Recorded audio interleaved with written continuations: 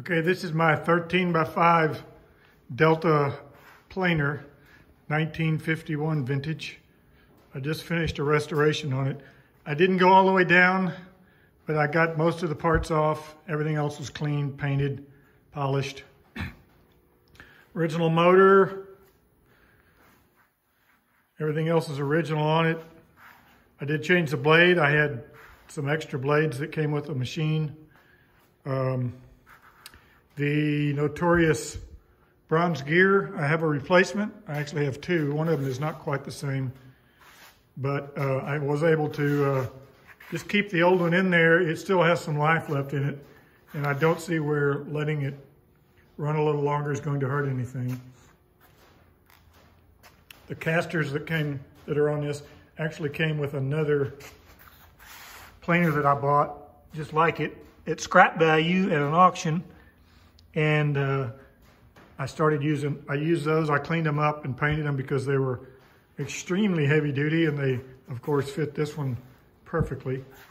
It's a very heavy planer, very quiet, very smooth. As you can see, the two nickels standing on the top of the planer. I'll start it up. I would have put them on the bed, but the knives tend to blow them over, so it's not a good indicator of stability. It's just an indicator of the wind speed. Let's see how this works. that one stayed up. So did the other one.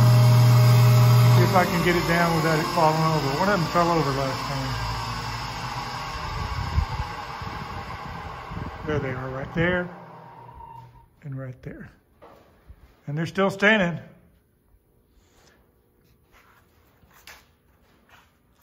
There you go. Original badge. Everything pretty well cleaned up. The gear, gear gearbox was uh, a little bit dirty, but um, I put the correct oil in there and it uh, seems to be running fine. So one more time, I'm gonna start it up just so you can hear how quiet it is. Actually makes no more noise than my jointer off over there.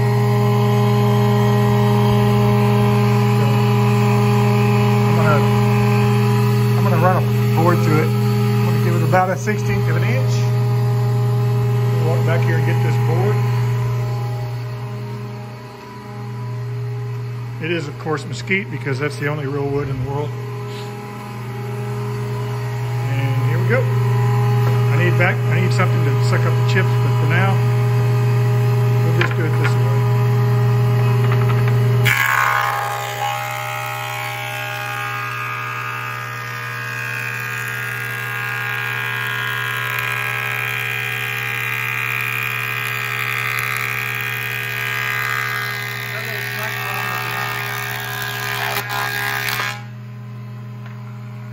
Snipe problem at the end. I need to work on that. I think it's my pressure bar in the back. Anyway, that's it. Nice machine.